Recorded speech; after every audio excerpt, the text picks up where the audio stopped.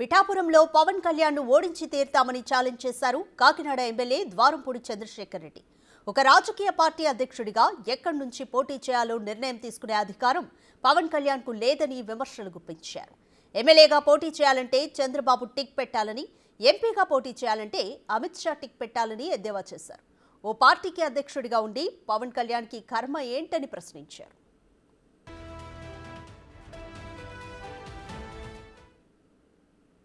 పవన్ కళ్యాణ్ పోటీ చేయాలంటే చంద్రబాబు టిక్ పెట్టాలి. అలాగే పోనీ పవన్ కళ్యాణ్ ఎంపీగా చేయాలంటే అమిత్ షా టిక్ పెట్టాలి. ఏంటండి కర్మ? ఒక రాజకీయ పార్టీకి అధినేత. అతను పోటీ చేసే సీట్ల గురించి కూడా ఒక టిక్ పెట్టాలంటున్నాడు. దౌర్భాగ్యం మన రాష్ట్ర ప్రజల దౌర్భాగ్యం. ఏం చేస్తాం? బ్యాడ్. కనుక ఏదైనప్పటికీ ఎవడొచ్చినా సరే నేను సిద్ధంగా ఉన్నాం. మా వైఎస్ఆర్ పార్టీ లీడర్లు కానీ కేడర్ కానీ అందరూ సిద్ధంగా ఉన్నాం. కనుక పొరపాటున కొండబాబు కుటుంబానికి వస్తే అవినీతి ప్రధాన అజెండాగా పబ్లిసిటీ చేయడం కూడా జరుగుతుంది. ప్రజల్లో నమ్మకం లేదు. పిఠాపురంలో అతని సామాజిక వర్గం ఎక్కువ ఉన్నారని అక్కడికి వెళ్తున్నాడు.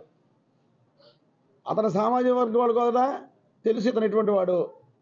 కనుక నాకు తెలిసి ఉండగా నాకు కూడా సామాజిక వర్గంలో మంచి ఫ్రెండ్స్ ఉన్నారు కాబట్టి నాకు తెలిసి ఉండగా ఆ సామాజిక వర్గం వాళ్ళు అందరూ తెలివైన వాళ్ళు. పవన్ కళ్యాణ్ ఎట్టి బస్సులో గెలిపించడం నా భావన. నేనే ఇన్వాల్వ్ వస్తుంది అక్కడ. ప్రజలు గెలిపి ప్రజలే అతను ఓడించే కార్యక్రమం చేస్తారు.